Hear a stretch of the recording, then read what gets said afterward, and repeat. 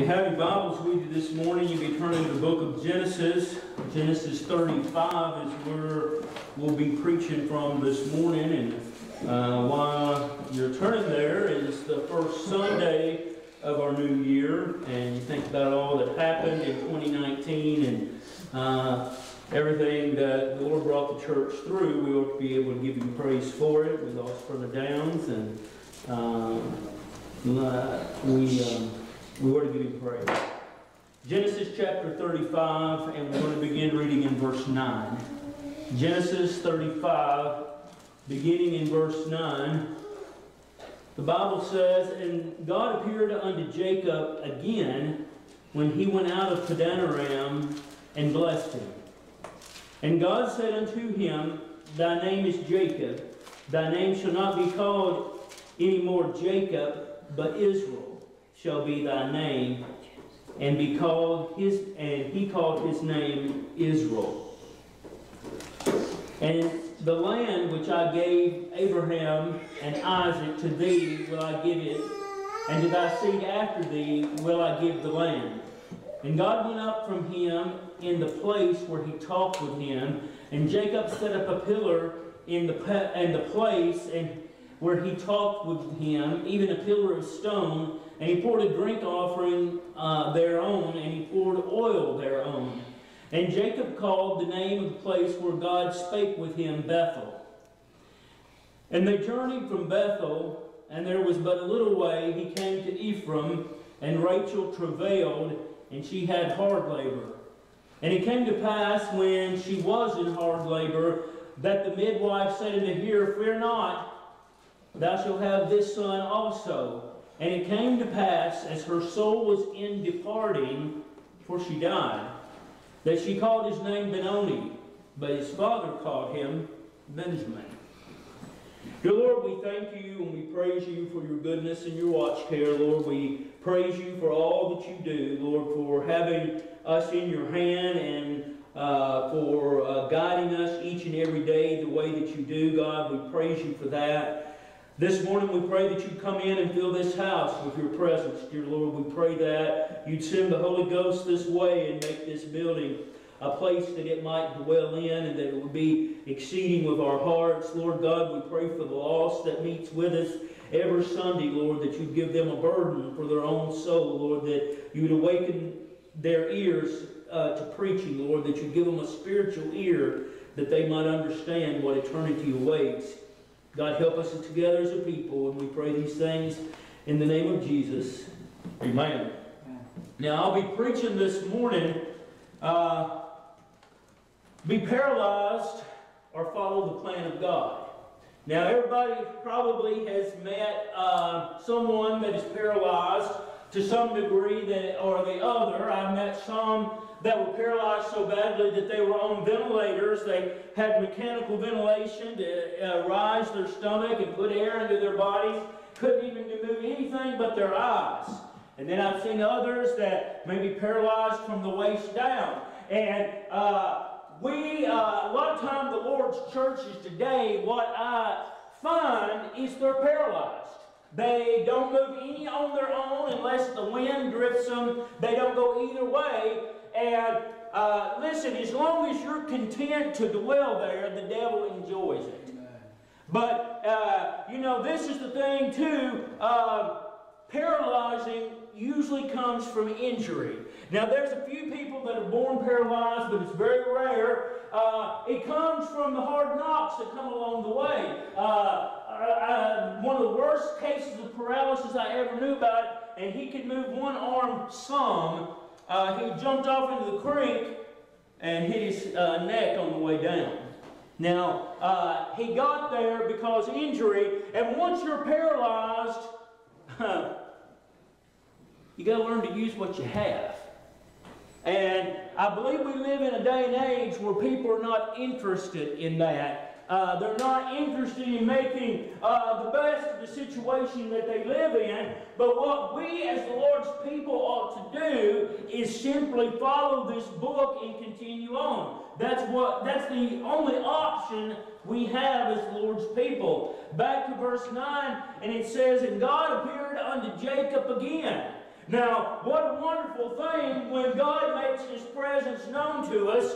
And, and, you know, when we see, we think about the appearing of God, we, we think of visually, but you know what? God has been with me time and time again, and I can say He's appeared unto me, not with the fleshly eye, but I know when God's moving, and I know when God's been with me, and that's a precious time.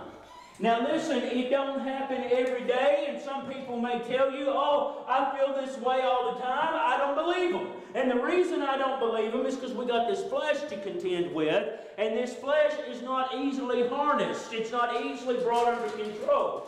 But I have enjoyed a few of those times, and here we find that Jacob is so excited that he has spent time with God that he raises up an altar. See, it was important to him. And you know, have you ever thought sometimes maybe why the Lord doesn't meet with us more is when he does, we're not excited about it? Yeah. We're not glad in it. Oh, here we go again. And, and so many times, I really believe that's the problem. But Jacob having not experienced this very much, was very excited that God met with him. And God appeared unto Jacob again when he came out of Padanaram and blessed him. And God said unto him, Thy name is Jacob, which means thief. Uh, when you know, a lot of times when you have children, you think and you kind of break, you knock around in your head, oh, well, we're going to name this one, blah, blah, blah. Uh, can you imagine naming your child thief. But we find that fits him to a T. That's exactly what he became. That's exactly what he, he was. He stole his brother's inheritance. He stole his brother's birthright. He, and, and, and that fit him completely to a T. He was a thief. And, that, and we're fixing to see that his name is changed and not only was his name changed, his personhood was changed. You know what? When someone says they're saved, what we need to look for is the change. You know what? Uh, say people lie, but they feel guilty about it. Uh, say people do things, but uh, the conviction of the Holy Spirit makes them sorrowful that they had done that thing. And that's the difference. So if you never have any trouble sinning, there's something wrong. There's something very desperately wrong. And, and so we find here that Jacob is, uh, he is what he is, and he enjoys meeting with God. And God appeared unto Jacob again and he, uh, when he came out of Padanaram. And I want you to see that he, one reason that Jacob, I believe, had this second meeting with God is he left Padanaram. That was his command. That's where Laban, his father-in-law, uh, had lived. He had lived with him 20 years, lived down in sin, like living in Sodom. And so God brought him out. So when we're obedient, God's going to meet more with us. And so he blessed. Uh, uh, he came again, and when he came out of Padanaram and blessed him, and God said unto him, Thy name is Jacob or thief. Thy name shall not be called any more J Jacob, but Israel shall be thy name. So he, get, he gets a name change. Um, and uh, that is a, a name that means fighter, contender. See, uh, I often think about uh, when, when the kids were small and we had uh, contenders of the faith for the little boys. That's what Israel means. It's a contender. You know what a, a contender always has to do? Fight. It, it, it's a never-ending thing. A contender continues to go on. You know what? As we're looking at 2020 up in front of us, I wish I could say, hey, it's going to be better. It's going to be smooth sailing. Everything's going to be all right. But you know what? It'll probably be worse this year than it was last year. And I'll take that from the Bible because the Bible says this, things shall wax worse and worse. You know what? In the morning, we may be seeing World War III. We may declare war on them, and I guarantee you, if we declare war on them, Russia's going to declare war on us. And it's just going to be like a domino effect. But you know what? Uh, again, I'm not preaching you a health and wealth. Everything's going to be all right. But listen, I know this God's in control. God, God is on his throne and he doeth all things well. So you got to keep contending. Amen. You got to keep going. And you know what? That's a very individualized decision. And, and, and the new year always, always is good to make a determination. You know what? I'm going to do more for Christ this year than I did last year. I'm going to make more of a difference in the life of somebody this year than I did last year. So we are contenders. We are fighters. And that's. Uh, and, and that's what we went from being a thief as a lost person to a contender in the cause of Christ as a saved person. Verse 11 And God said unto him, I am the God, I am God Almighty. Now I want you to see who introduces himself to whom. See, and, um, and, and, and the world around us, and you know, this ain't popular preaching, you can tell by looking at the little number that we usually have. But out here in the world, they'll be inviting Jesus into their heart and all that goes with that. But I want you to see who introduced himself. Did Jacob introduce himself to God? No, God came down and said, I am the God Almighty. He introduced himself to Jacob. Listen, let's don't get it out of sequence in 2020 just because it's not popular preaching anymore, but let's stick with what the Bible says. And so he had this intercession with God, and it changed his life. And God said unto him, I am God Almighty. Be fruitful and multiply. A nation and a company of nations shall be out of thee, and kings shall come out of thy loins. And every bit of that came to pass. Verse 12, In the land which I gave Abraham and Isaac, to thee will I give it, and to thy seed after thee will I give the land. And God went up from him in the place where he talked with him, and Jacob set a pillar in the place where he had talked with him, even a pillar of stone, and he poured a drink offering thereon, and he poured oil thereon. Now, I want you to see that uh, Jacob marks the spot. And you know what? It's important when God does something wonderful to mark the spot.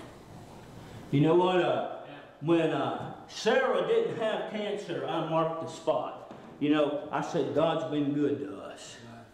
That, that, that's a place I marked the spot. And we need to do that. See, you know what? Well, God just don't move like he once did. No, no, he's still moving. We're just too stupid to see it.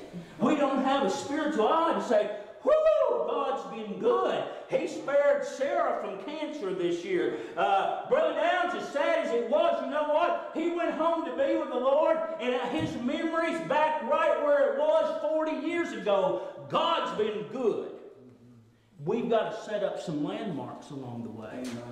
And, and, and listen, you got to get off your pity pot and, and just serve God uh, with everything that you have and God will bless that. And so he wants you to be remembered, so he sets him up a pillar there. In verse 15. And Jacob called the name of the place where God spake with him Bethel. Now, Bethel got a new name too. Uh, Bethel means uh, place of God. That's what Bethel means. But before that, it was called Luz. And, and, Luz was the Arabian name. It was the, the, and you know, everybody when they think of Bethel, uh, and I looked on the internet to be sure I wouldn't be teaching you wrong this morning that it's luxurious and for, it's a desert. There's nothing there but sand and dust. And he called it God's with us. This is the place of God. God met with me. So listen, you know what that tells me? It tells me this. Listen, you don't have to be in some kind of luxurious place for God to meet with you. In fact, He might meet with you in a desert. Mm-hmm. And you know, this is the thing for you for Him to meet in the desert. You know what has to happen? You have to get in the desert. And that's not always a very pleasant thing to happen, but I, I know it, it, it is granted for our good. And, and so if you end up there in 2020, remember God still meets with you even there. Verse 16. And they journeyed from Bethel. Now, I think it's very interesting because they keep moving. Why do they keep moving? Because God told them to. You know, they set up that pillar. God had met with him. He changed his name to Israel. Had changed him from being a, a thief to a fighter to a, to a contender of the faith. And he kept moving. You know what? I bet it was hard to see that pillar go by, wasn't it? But he kept moving. See, this is the thing a lot of people want to do, and I've seen it in my own ministry, if I'm not careful, I'll have to remind myself with these scriptures. I'll start talking about back in, back in, I mean, and there were some good times. The late 90s, the early 2000s, me and Don, the kids, went all over preaching the gospel. And it would be very easy to say, hey, well, you know what? That was 20 years ago now. It's time to move on. It's time to do everything. You know what? That's a nice pillar, and I like to remember it, but there's other things left to do. And if it wasn't that way, God would have already came for us. He, he would have already came for us. So there's got to be more ahead. So he didn't he didn't just wrap himself around the pillar and boo-hoo. He kept moving because God's plan was to keep on moving, and that's exactly what they did. And they journeyed from Bethel, and there was but a little way to come to Ephrath, and Rachel travailed, and she had hard labor. And it came to pass, when she was in hard labor, that the midwife said unto her, Fear not, thou shalt have this son also. And it came to pass, as her soul was in departing.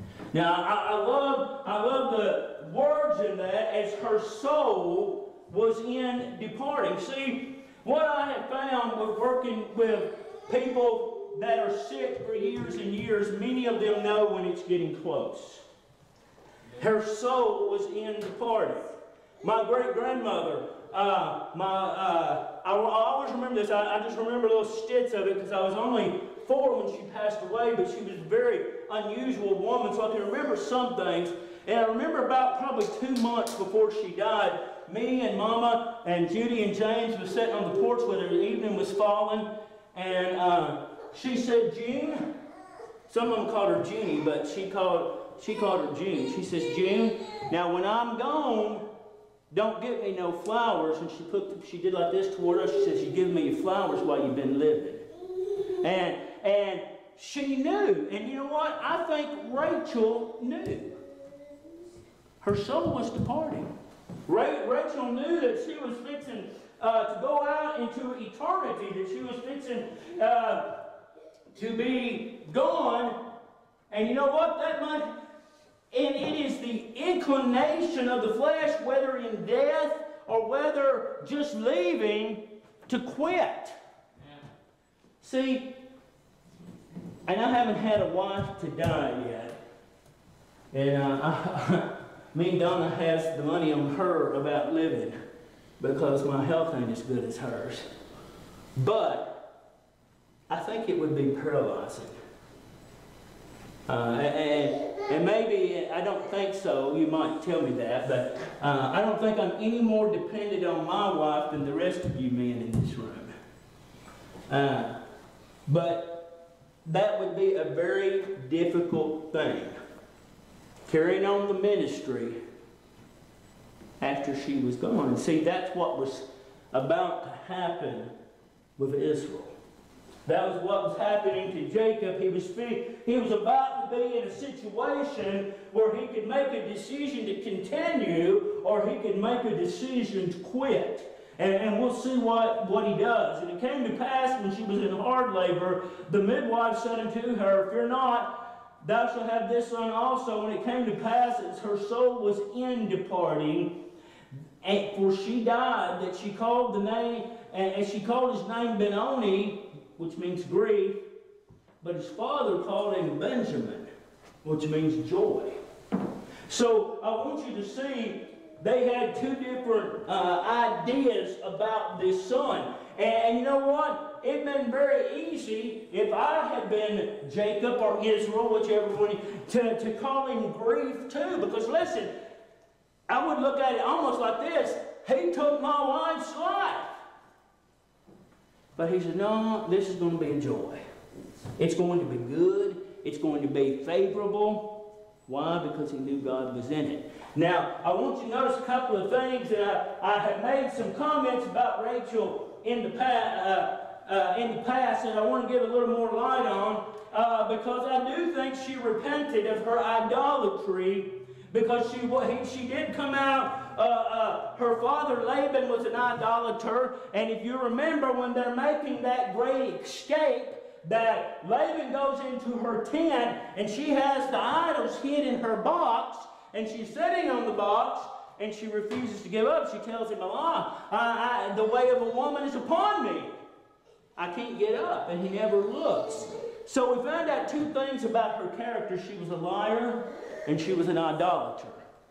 And, and, and so with, with that in mind, we're going to go back and read the first couple of verses and see what what God can do. In the first verse of chapter 35, the Bible says, And God said unto Jacob, Arise, go up to Bethel, and dwell there, and make there an altar unto me that, uh, that appeared unto thee when thou fleddest from the face of Esau thy brother.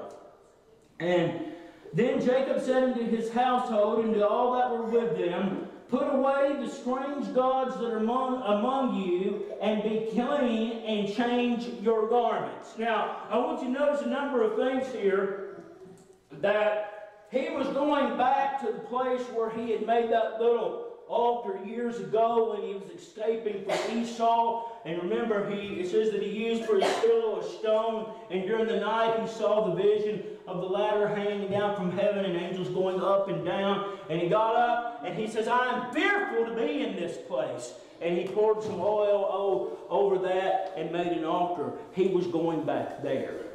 Now, that would have been a very fearful thing for me. Now, if you if you remember where we're at in the in the context of his life, he had just fought an angel for a blessing. Some people think it's Christ. It could have been. But uh, he just had fought an angel for a blessing. And God's beginning to move in him. But to continue this, you got to be obedient. See, you want to know why the Lord's not blessing more than He is? Well, it takes obedience. Do you think we live in a day and age that God's still not moving young men to preach? Uh, I, I, don't believe that. Uh, and I believe the, the preacher should keep preaching. If all you have is a place to preach is under an oak tree, get under the oak tree and start preaching. See, we are to be movers not stairs, not, not, not standing still. We are to continue the work that He has given us to do. And, and so Jacob gets these directions from God. Now, I want you to see the instructions that he gives his family, and as far as I know, uh, Rachel complies, and Jacob said unto his household and to all that were with him, Put away the strange gods that are among you. Now, what strange gods are you carrying? Now, uh, this can be a strange God. I'm sure if our forefathers saw us going around doing this, they'd say, well, man, that's strange. Uh, and, and, and unfortunately, when it takes the majority of our time and the majority of our waking hours and the majority of our energy, it is God. Yeah. It is God. And, and so then uh, he said, You throw all that out, get the strange gods from you. And you know, uh, I think that's a good thing. You know, years ago and today, people would th- well, people thought they was crazy in the 70s because listen, down down at Tennessee Ridge, when I was a boy, Tennessee Ridge Baptist Church, first independent Baptist church I ever knew about. Man, in the 70s, they meant business with God. You could see them in Houston County and pick them out of a crowd. You knew what, you know what? You knew where they went to church by the way they looked. And, you know, and th- th- th- this is whenever people thought they was really crazy. Now, music and albums left over from the late 60s and from the early 70s, they made a big fire out by the, by the church building and they burned every minute of that mess up. People confessing to God, understanding what that junk meant. And, and he said, Well, that's stupid. Well, it happened in the New Testament, did it not? So they took their books of sorcery and burned them. Right? And I think that the price was 50 pounds of silver or something like that, 50 pounds of gold. See, if you want something different this year, it's going to cost you something. It, it, it's going to cost you mentally, maybe financially, certainly time. It's going to cost you something if you want something better. So he prepared his family. Then I want you to notice the last thing of his instructions change your garments. Not popular preaching, is it? Uh, you know what? Uh, we don't have to look like this world. And, and, and you know what? I'm about to the point and sick of people justifying it. You know, I was talking to a man, I'm going to tell you who it was. Uh, actually, I think I was talking to his wife. And um, she, she says to me, my, wife, my husband wants me to dress that way. And I said, you know what? It doesn't make it right. That's right. It doesn't make it right. So, apparently, whatever they were wearing wasn't what God wanted them to wear. Right? And you know what? That's always been true, hasn't it? What was man's first idea about clothes? Leaves, right? You know what happens to leaves in the wind? Right? I can see why it didn't work, don't you? It, it takes skin. It, it takes some kind of covering. And so we find the very thing, and I'm sure they bought their flashy garments from Laban's house and all their bells and whistles and, and, and, and all uh, the way they looked. And God said, change that, get rid of it, because now you're mine. In verse 3, Israel says, And let us arise and go up to Bethel, and I will make there an altar unto God, who answered me this in the day of my distress, and was with me in the way which I went. And they gave unto Jacob all the strange gods, and again, I'm assuming Rachel was in that, and that were in their hand, and all their earrings which were in their ears, and Jacob hid them under the oak which was by Shechem. And they journeyed, and the terror of God was upon the cities which were round about them, and they did not pursue after the sons of Jacob. Now, you know, I've often wondered why, why were these people scared? Why, why were they fearful? Why were they why were they upset with it with it? Because you know, at that time, there weren't that many of them. Now, when they were leaving, when they were leaving Egypt with four and a half million, yeah, I can see a little bit of fear being raised up. But you know what? At this point, there was only 69 of them. Now, Benjamin will make the 70th, 70th the 70th, the 70th person? I don't know how to say that. But are you afraid? You, a town the size of Dover, if a group of uh, 69 people came walking through, would that scare you? I don't think it scared me. But see, the reason it scared them because they knew the presence of God was with them. See, the Bible, little is much when God is in it. Little is much when God is in it. And, and so they didn't need four and a half million. Their 69 was fine because God was with them and people were getting out of their ways and stepping back uh, for God's people. And they kept going. They followed God's plan. They followed exactly what God wanted them to do. Verse 6 So they came to Luz, which was in the land of Canaan, that is Bethel, and he and all the people that were with him. And he built an altar, and he called the place El Bethel, because God had appeared unto him. and he fled from the face where he had fled from uh, the face of his brother. But Deborah, Rebekah's nurse, died, and she was buried beneath Bethel under an oak tree, and the name of it was called Alon Bakuth. Now, why is that significant? Everything's going good. Everything's going great. People are stepping out of the way and say, man, here comes Israel and his gang. And in the midst of all that joy and happiness, they have a servant to die. Rebecca's nurse, Rebecca's maid, Rebecca, Rebecca's servant. And you know what? Then our text begins for today. They got up and went on. They weren't disrespectful to that woman, but they buried her in what was necessary and they moved on. And then just a short way, a short ways later, they have a child born, and then Rachel dies, and what? They bury her and they move on.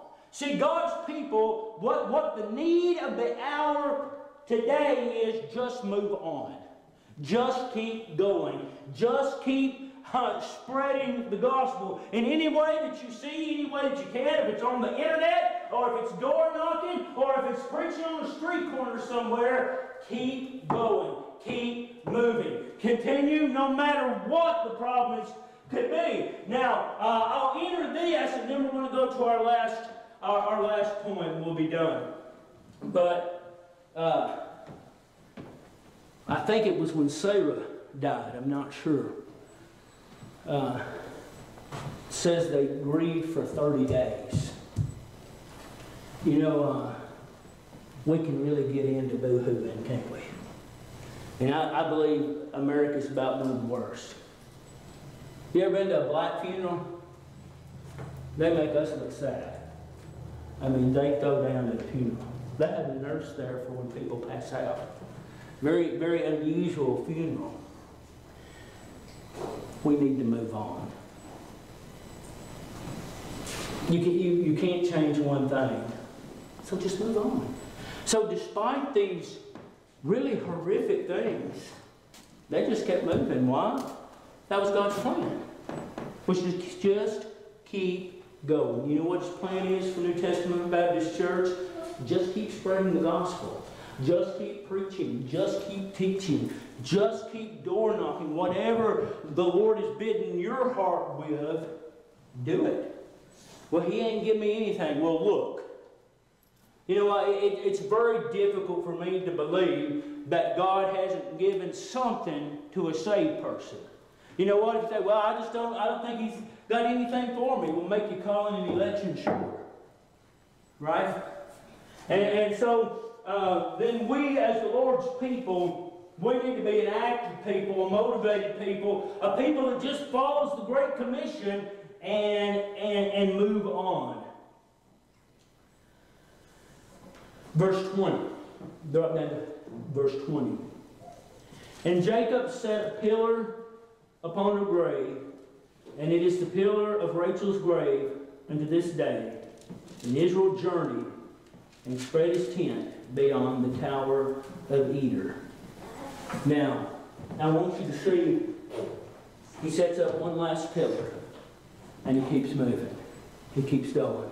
Rachel died, is the wife he loved the best. I think she probably wasn't the first choice, and he made that choice in the flesh. Uh, Leah was a more godly woman by far. Uh, and, uh, but he made a pillar, and he moved on. He put a place where you could see it. Now, he had two people to die. He'd set up two pillars, one unto God, one unto the memory of Rachel. It's just like David's tombstone up there. That's exactly the same thing, same principle. Now, uh, now it was time to move on. And that's exactly what they did. Think about the last year, the house is pretty empty. Do you want to boo-hoo or do you want to move on? I'm not a boo-hooer. I, am not one to get down and say, well, it's time to quit. No, the time to quit is either one or two times when he calls me home or he says to his people, it's enough, come up here. That's, that's the getting off place. I don't, I don't see anything different, do you? So, what we as a church people together need to do is just get on our knees before God and say, hey, here we are, use us. And, and it, it may be very, something very simple. Uh, you ever thought about the widow with her cruse of oil that never ran out? That little, that little flour, she'd go in there and always be just a little bit more. And you know what? He didn't give her abundance. She made one cake at a time, didn't she? God's man was always first, and there was always one for her and her boy. See, if we put first things first, God's going to bless If we have things in the right order, God's going to be with us. And if we don't, we're going to be the mess. I want to move forward in 2020, don't you? Mm-hmm. I, I- I want to see some good things